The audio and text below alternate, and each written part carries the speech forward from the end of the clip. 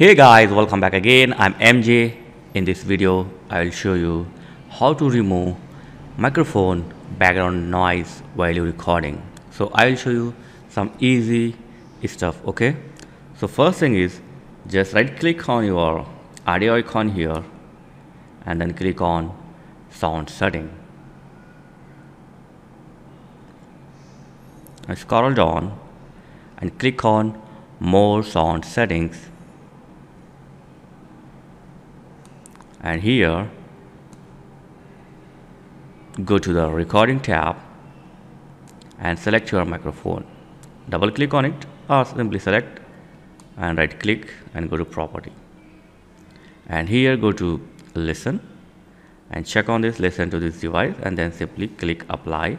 And after this go to level so here you can set the microphone level like uh, in between 70 to 100 like this and after this important thing here select the your microphone boost. So by default here is 20 you can set it to 10 first try to set the 10 and if the 10 is solve your problem if it helps to remove your background noise it's okay. If it's still facing problem then make it zero.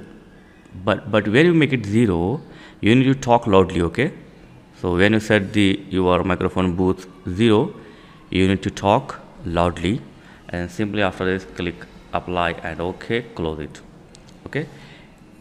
If you don't find this setting in this uh, audio then go to start here type Realtek okay? Simply real, type here Realtek audio console click on it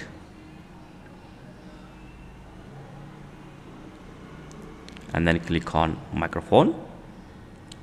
And here simply turn on this option okay? Noise suppression reduce ambience stationary noise and also AC remove the acoustic echo. So turn on this both option and you can set this microphone microphone boost to zero.